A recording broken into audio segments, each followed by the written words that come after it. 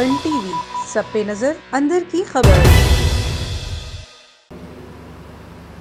और एक आर्जी तौर के ऊपर तमाम फॉरेन एक्सचेंज रिज़र्व आप एक्सपोर्टर्स का मेहनत का पैसा, बैरून मुल्क जो हमारा मजदूर अपने मुल्क डॉलर भेजता है, उसके मेहनत का पैसा डॉलर को आर्जी तौर के ऊपर ऊपर रखने के अंदर झोंक दिया गया था।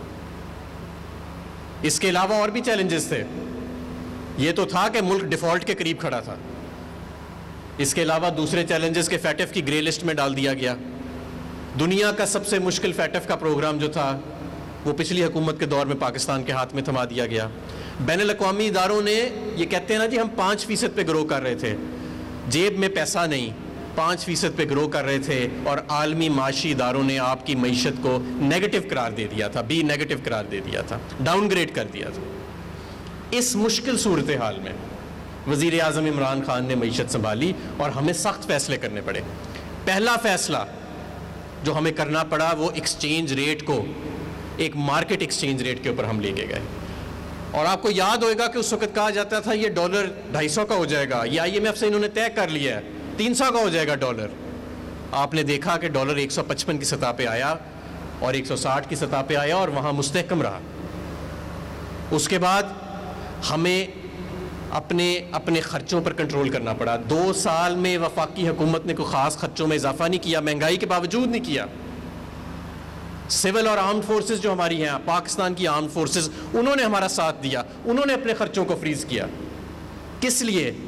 कि मीशत को जिस हाल में छोड़ा गया था, उससे मीशत को बचाया जाए और डिफ़ॉल्ट से बचाया जाए। डिफ़ॉल्ट का मतलब आप सब कारोबारी हजरात यहाँ सामने बैठे हैं डिफ़ॉल्ट का मतलब आप समझते हैं कि क्या है। फिर ये एक्सपोर्ट इम्पोर्ट का खाता ख़त्म हो जाता है।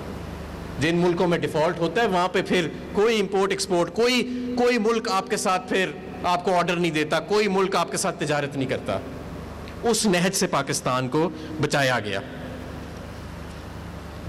और एक्सपोर्ट की खातिर, क्योंकि एक्सपोर्ट पाकिस्तान की बहुत, रजाक दाऊद साहब यहाँ पे मौजूद हैं एक्सपोर्ट पाकिस्तान की रीढ़ की हड्डी है, और जब तक इस मुल्क की एक्सपोर्ट नहीं बढ़ेगी, हम आगे नहीं बढ़ सकते।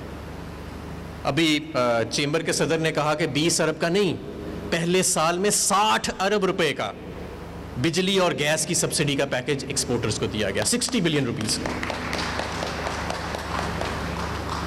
और पिछले कई सालों के जो रिफंड्स फंसे थे, पिछले कई सालों के डीएलटीएल के जो मामला फंसे थे, उनको हमारी हुकूमत ने आके इसका इजरा किया। इस साल भी क्या आपको मैं ये मालूम बताना चाहता हूँ कि इस साल एफबीआर ने जो रिफंड्स का इजरा किया है, वो पिछले साल से भी सौ फ़ीसद ज़्यादा है। पिछले साल भी ज़्यादा था और इस साल सौ फ़ीसद ज़्यादा है। ढाई सौ अरब से ज़्यादा का कर चुके हैं। डी एल टी एल तीस अरब के करीब, जो कितने ही सालों से चला आ रहा था, वो मौजूदा हुकूमत ने ख़त्म किया। पंद्रह से बीस हज़ार आइटम्स पर रेगुलेटरी ड्यूटी और कस्टम्स ड्यूटी को ज़ीरो किया गया। ये वो आइटम्स थी जो आपकी मसनूआत हैं, जो आपकी इनपुट्स हैं। माजी में इनके ऊपर कस्टम ड्यूटी रेगुलेटरी ड्यूटी ये जो कहते हैं ना कि हमने टैक्स बढ़ाया था, वो सारा टैक्स इम्पोर्ट से बढ़ाया हुआ था। डॉलर को ओवर वैल्यू कर दिया इंपोर्ट का सैलाब आ गया, उसके ऊपर custom duty additional custom duty लगा लगा के अपनी सनत का पहिया बंद कर दिया, मुल्क में डी इंडस्ट्रियलाइजेशन कर दी। उसको हमने ख़त्म किया, बीस हज़ार। और इन ताला जितनी रह गई हैं उनको अगले सालों में, जितना हमारा, जब हमें अगला मौका मिलेगा, मिनी बजट आएगा या सालाना बजट आएगा, उसमें हम उसको ख़त्म करेंगे। और ये तमाम आपके जो टैक्सेस हैं, इसको इन ताला इनपुट्स के ऊपर हम ज़ीरो पे लेके जाएँगे। इसके अलावा ease of doing business index मैं आपको ये बताना चाहता हूँ कि 2013 से 2018 में कुछ 36 पॉइंट 36 से 40 पॉइंट्स दुनिया की जो ease of doing business index है कि हर मुल्क में कारोबार करना कितना मुश्किल है, उसमें पाकिस्तान 40 पॉइंट्स के करीब लूज़ कर गया था 36 से 40 पॉइंट्स पाकिस्तान तहरीक इंसाफ के पहले साल की हुकूमत में अल्हम्दुलिल्लाह हमने 28 पॉइंट का रिवर्सल किया है, पहले एक साल के अंदर। और इन इस साल भी इनशाला इस साल भी कोविड के बावजूद, कोविड के बावजूद इनशाला इस साल भी हम इतना ही तकरीबन रिवर्सल करेंगे। मुझे इनशाला पूरी उम्मीद है। अब ये सफ़र जारी था, हमारे अशारिय बेहतर हुए मीशत के करंट अकाउंट का खसारा जो था वो पहले साल में, उसमें बहुत कमी आई, दूसरे साल में मज़ीद कमी आई और अब इस साल अल्हम्दुलिल्लाह पहले क्वार्टर में वो सरप्लस में चला गया। हमारा प्राइमरी खसारा, यानी जो माजी के कर्ज़ों पे सूद अगर हम छोड़ दें तो हुकूमत का जो अखराज हैं, वफाकी हुकूमत के और सूबाई हुकूमतों के, वफाकी हुकूमत के अखराज और उसके जो आमदन है, उसको भी हमने बड़े सालों के बाद पॉजिटिव किया और इसका हमें समर मिला। आलमी इदारों ने आपकी मीशत की जो जो रेटिंग है, उसको दोबारा मुस्तकम करार दिया। और इस सारे अमल के अंदर हम पे कोविड की वबा आई, जो जिस तरह सारी दुनिया पे आई है। और ये बहुत मुश्किल फ़ैसला था हमारे लिए। जो आपको मालूम है कि अपोजिशन जमातें कहती थी कि सब कुछ बंद कर दो एक्सपोर्ट की सनत भी बंद कर दो, मंडियाँ बंद कर दो, मार्केटें बंद कर दो। और कोई फ़र्क नहीं पड़ता बेरोज़गारी होती है, कोई फ़र्क नहीं पड़ता कि इस मुल्क में भूख आती है। बस सब कुछ बंद कर दो। और यहाँ तक कहा जाता था कि वज़ीर अजम पे और उनकी टीम पे एफ़ आई आर काटी जाएगी, जितनी अमवात होएँगी कोविड की। ये वही लोग कहते थे जो आज गली गली चौक चौक में जलसे करते फिर रहे हैं। आपने देखा कि पूरी दुनिया एक तरफ़ थी। इंपीरियल कॉलेज की स्टडी को लहराया जाता था। वज़ी अजम इमरान खान ने यह दलेराना फैसला किया कि मशरकी मुल्क हमारा गरीब मुल्क अमीर मुल्क के नुस्खे पे नहीं चल सकता। हमें एस ओ पीज़ के साथ अपनी सनत को चलाना है। हमें अपने मज़दूर के रोज़गार को, को रोज़गार देना है। हमें मीशत का पहिया चलाना है। और उसका नतीजा आपने देखा कि आलमी सेहत के इदारे ने जो सात मुल्क हैं पूरी दुनिया में जिन्होंने कोविड से की पहली लहर को बेहतरीन तरीके से मैनेज किया, उसमें पाकिस्तान का भी नाम अलहमदिल्ला शामिल है। ना सिर्फ़ ये, कोविड के दौरान जो सनत के लिए किया गया, सबसे पहले तो ये कि पेरोल फाइनेंसिंग की स्कीम लाई गई बैंकों के साथ मिलके। उसके बाद लाखों के तादाद से कारोबारों के कर्ज़ों को रीस्केड्यूल किया गया डिफ़र की गई उनकी पेमेंट को। नंबर दो नंबर तीन, सिर्फ़ बड़े कारोबार नहीं, छोटे कारोबारों को भी याद रखा गया। और 30 लाख छोटे कारोबारों के तीन माह के बिल उनके खुलने के बाद उनको हुकूमत पाकिस्तान ने अदा किया। तीस लाख कारोबार, जिसमें सियालकोट का बहुत बड़ा हिस्सा था। उसके बाद मज़ीद इसके अंदर बेहतरी लाई गई। हमारे जो डिफरेंट पैकेजेस आए कंस्ट्रक्शन का पैकेज वज़ी अजम साहब ने ज़ाती तौर पर लीड किया और उसके सम्राट आपके सामने हैं। सीमेंट की सेल इस साल पाकिस्तान की तारीख की सबसे ज़्यादा सेल जा रही है। जुलाई से सितंबर तक, जुलाई से अक्टूबर सॉरी जुलाई से अक्टूबर तक सीमेंट की सेल में बाईस इशारिया आठ फ़ीसद इजाफा हुआ पिछले साल। कोविड से भी पहले, वबा आने से पहले से ज़्यादा। और ये कंस्ट्रक्शन पैकेज की कामयाबी का नतीजा था।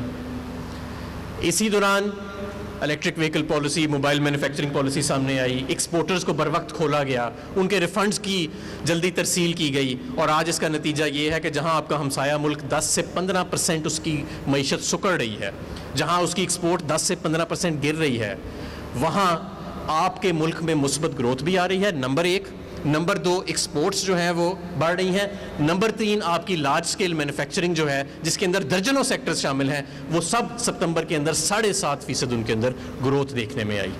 ये सब उस वक्त हो रहा है जब बाकी सारी दुनिया जो है, वो मीशत जो है, वो मेल्ट डाउन के अंदर हो रही है। और इसकी वजह ये है कि एक बेहतर तरीके से मैनेज किया गया। आपकी आवाज़ को सुना गया, आपके साथ मुसलसल रबता रखा गया कि कारोबारी आदमी क्या कह रहा है, कि किस तरह जहाँ पे ये एक चैलेंज है, वहाँ हमारे एक्सपोर्टर के लिए अपॉर्चुनिटी भी है और इस अपॉर्चुनिटी को हमने इस्तेमाल किया। आज अल्हम्दुलिल्लाह सीमेंट की सेल का मैंने ज़िक्र किया फर्टिलाइज़र की सेल हमें इंशाल्लाह यकीन है कि वो भी पाकिस्तान की तारीख की सबसे ज़्यादा सेल जाएगी इस साल। टेक्सटाइल्स बहुत ज़्यादा तरक्की कर रही हैं। पूरा साल फैसलाबाद में हम वज़ी अजम साहब के साथ मौजूद थे दो हफ़्ते पहले। तो फैसलाबाद में जिस तरह सियालकोट में आज मुझे बता रहे थे, सनतकार के, यहाँ पे भी अब मज़दूर मिलने में दिक्कत होती है तो फैसलाबाद में जो टेक्सटाइल का वर्कर है, वो भी मिलने में दिक्कत हो रही है। ऑटोमोबाइल्स, गाड़ियों की सेल बढ़ी हुई है, मोटरसाइकिलों की सेल बढ़ी हुई है, ट्रैक्टर की सेल बढ़ी हुई है आपके मुल्क में, फार्मास्यूटिकल्स की एक्सपोर्ट जो है और लोकल सेल जो है वो बढ़ी हुई है आपके मुल्क में, और बाकी तमाम इंडस्ट्रीज़ तकरीबन इस वक्त अपनी फुल कैपेसिटी के ऊपर चल रही हैं। ये सफ़र मुश्किल था, ये सफ़र आसान नहीं था ये सफ़र आप तमाम कारोबारी अफराद, कारोबारी तबके चेम्बर्स सेक्टर एसोसिएशंस और आपके ताउन के साथ मुमकिन हुआ है और इन ताला मीशत की तरक्की का जो ये सफ़र है वो आगे जारी साजी रहेगा। अगर हमने अब मज़ीद तरक्की करनी है तो ये बहुत ज़रूरी है कि अब हम अपनी इन्वेस्टमेंट करें, मज़ीद जिद्दत लेके आएँ, अपनी प्रोडक्टिविटी को इन्हांस करें। अपने कोई पाकिस्तान में ऐसा शख्स नहीं जिसने कारोबार के अंदर पैसा लगाया हो और वो कामयाब ना हुआ हो। आप सब इस चीज़ की तर्जमानी करेंगे। आप सब इस चीज़ के गवाह हैं। और इस वक्त वक्त है, मैं समझता हूँ कि ये बिज़नेस फ्रेंडली गवर्नमेंट और ये आपका फ्री फ्लोटिंग एक्सचेंज रेट जो इन ताला हमेशा जारी रहेगा, ये आपका जो इंडस्ट्रियल पैकेजेस आ रहे हैं, हम मज़ीद आने वाले दिनों में मज़ीद अभी हमने जो इंडस्ट्रियल रिलीफ पैकेज का इनसार किया है, एक जो सबसे बड़ा जुल्म हमारी मीशत के साथ हुआ है, वो ये जो महँगे बिजली के सौदे कर गए हैं, उसका सारा का सारा बोझ सनत को उठाना पड़ रहा है, सारे का सारा बोझ। लेकिन वज़ीर अजम साहब की हदायत थी तो इंडस्ट्रियल रिलीफ पैकेज दिया गया, जहाँ इजाफी बिजली आप जितनी भी इस्तेमाल करेंगे पिछले साल से उस पर पचास फ़ीसद और पच्चीस फ़ीसद का डिस्काउंट है। और पी कार और ऑफ़ पी कार की तफरीक को ख़त्म कर दिया गया है। चौबीस घंटे ऑफ़ पी कार कर दिया गया है। ये बहुत बड़ा मैं समझता हूँ कि एक रिलीफ है इंडस्ट्री के लिए, और इस तरह के मज़ीद पैकेजेस आपके लिए, आपके सामने हम लाते रहेंगे, और इन ये जो 10 10 15 साल में पिछले डी इंडस्ट्रियलाइजेशन हुई है। ना सिर्फ़ कि हम री इंडस्ट्रियलाइजेशन करेंगे, बल्कि पाकिस्तान को एक इंडस्ट्रियल हब एक्सपोर्ट का पावर हाउस और एक एशियन टाइगर बनाएँगे। बहुत शुक्रिया। ए वर्ल्ड टीवी सब पे नज़र, अंदर की खबर।